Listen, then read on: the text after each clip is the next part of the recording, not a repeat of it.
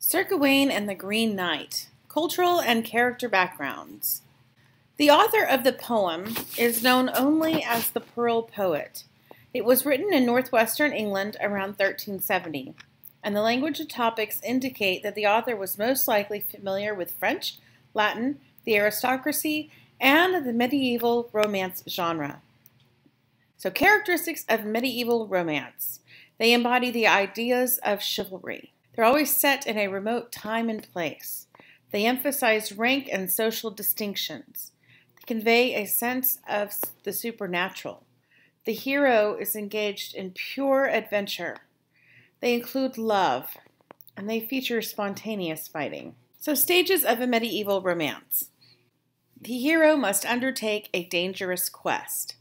He must face a test to both his honor and courage and return to the point from which his quest began. So he has to come full circle. Poetic devices that you will see in medieval romance poems. There's heavy use of alliteration. Bob and wheel verse, meaning each section ends with a short line called a bob, followed by the wheel, which are longer lines that rhyme. So here's an example. That never should another know of it, the noble swore outright. Then often his thanks gave he, with all his heart and might. And thrice by then had she kissed the constant knight. Themes. Themes that you will find in medieval romance are tests of character. Again, we're going back to honor, courage, bravery, chivalry, the power of nature to revive or destroy man, and games to prove worthiness. So think about jousting and the opposition of male and female. There was very specific gender roles that were part of this time period. So I asked you to read Sir Gawain and the Green Knight. Sir Gawain is a young knight ready for a challenge, and the Green Knight is a mysterious figure who proposes a quest. Lord Bercilak allows Gawain to stay at his castle during his quest. Lady Bercilak tempts Gawain. And King Arthur, remember, he is the head of Camelot. Sir Gawain is a knight of the Round Table in the legends of King Arthur.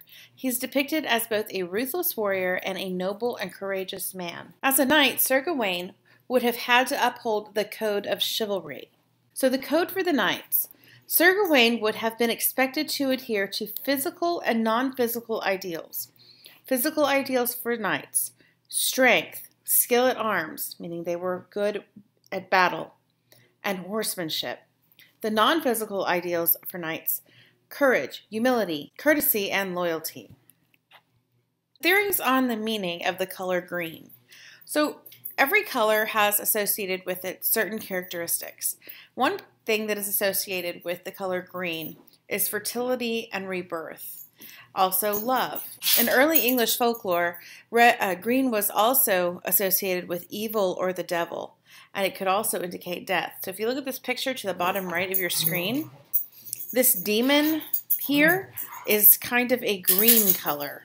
So, that often indicated something bad. If you think about when people are ill, um, if if they if something green comes out of them, that indicates infection and bad things. So think about it like that, and that's kind of how they got the idea that the devil was there. Because at this time, people often associated being sick or not being well with a curse from hell. So you're probably asking, okay, how can you go from the devil and evil and death, and then also fertility and rebirth? If you think about a very cold climate where there is a lot of snow, like England, the spring would come and things would become green and come back to life. So that's where you get the idea of fertility and rebirth. Also, things that happen in the springtime are indicative of love. Okay, so animals may mate during the springtime, and there's a lot of, of happiness and joy around celebrations in the spring because people are coming out of that cold winter slumber. So the color green has got, you know, very two very specific sides to it the very good and also the very bad.